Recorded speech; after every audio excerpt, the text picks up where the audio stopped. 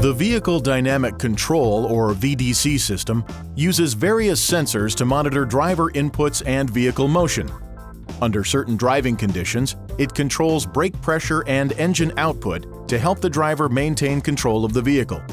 VDC, which should remain on when driving except when freeing the vehicle from mud or snow, cannot prevent accidents due to abrupt steering, carelessness, or dangerous driving techniques. Always drive safely. When you push the VDC off switch, an indicator light will illuminate. If you have turned off the VDC system, it will turn back on when you push its switch a second time. Also, when you turn off and then restart your vehicle, the system will automatically come on again. Please see your owner's manual for important safety information, system limitations, and additional operating information.